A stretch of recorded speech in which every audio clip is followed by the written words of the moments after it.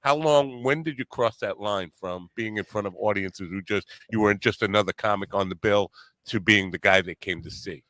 Well, I mean, it's you know, it's it's always a mix. You know, it's certainly not a hundred percent of the people there know who I am at every show, but it's Really? uh, it's the mix is in my favor.